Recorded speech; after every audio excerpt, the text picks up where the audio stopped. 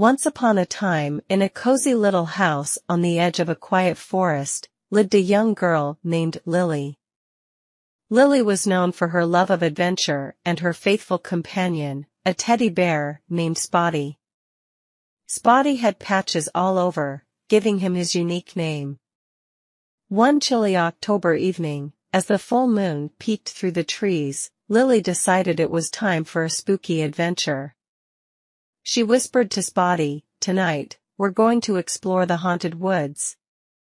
Spotty, with his stitched-on smile, looked a bit nervous, but he trusted Lily with all his fluff.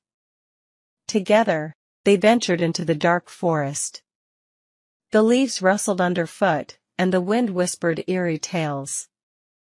As they walked deeper into the woods, strange sounds echoed around them. Lily's heart raced, but she held Spotty tight. They came across a twisted tree with gnarled branches that seemed to reach out for them. Look, Spotty, Lily said, it's the Wicked Witch tree. Just then, a gust of wind made the tree's branches sway, and it cast spooky shadows that danced around them. Spotty shivered, but Lily reassured him, don't worry, Spotty, it's just the wind playing tricks on us.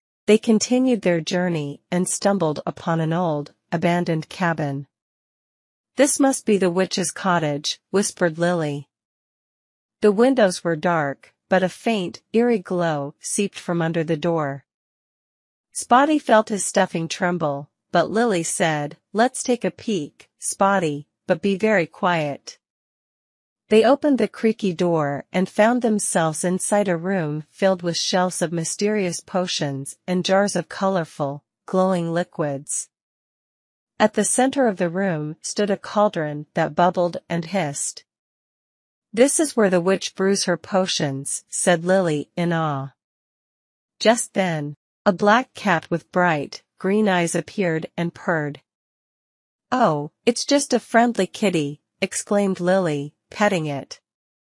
Spotty relaxed a little and gave the cat a nod of approval.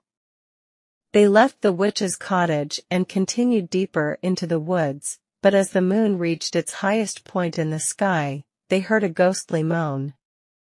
Spotty clung to Lily, his patches trembling.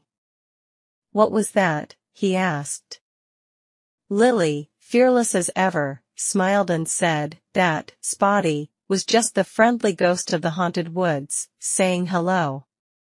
It's time for us to go back home. With Spotty still in her arms, Lily retraced their steps, leaving the spooky forest behind.